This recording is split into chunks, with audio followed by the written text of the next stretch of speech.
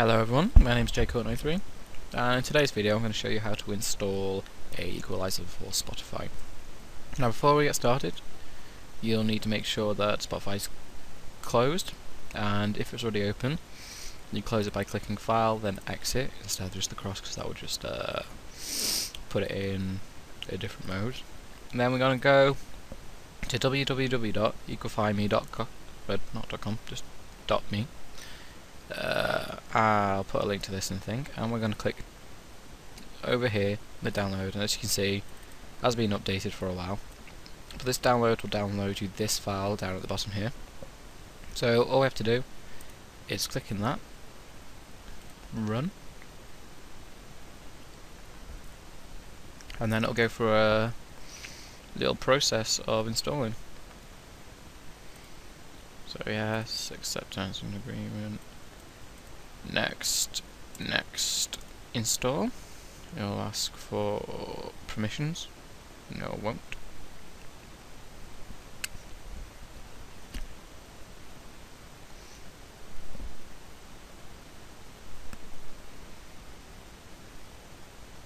Now I did look at a few other uh, equalizers whilst going through this process.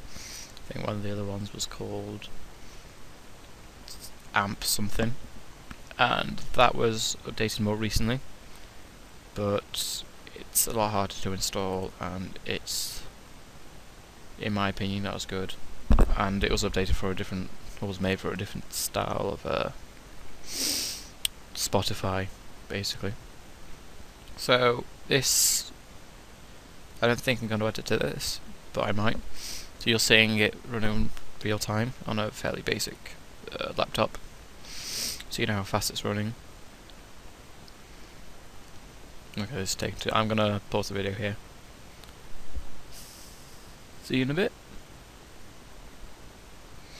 Okay, it's finished and so on, so we're just gonna click finish.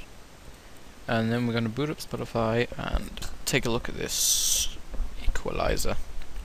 I'm not gonna play any songs because of copyright and all that. But hopefully if you're following at home, you'll be able to have a gander at this yourself and listen to things properly. Obviously, uh, it'll be more noticeable. There go, it's right there. It'll be more noticeable with a decent pair of headphones or a decent speaker system. But here it is. There's a reset. You can turn this on and off. Uh, there's a boost, which I presume boost bass, don't know, and then some presets. So there's acoustic bass boost, bass reduction, boost high, and vocal enhancements, and we can create your own save presets you like. So derp. Click on the tick.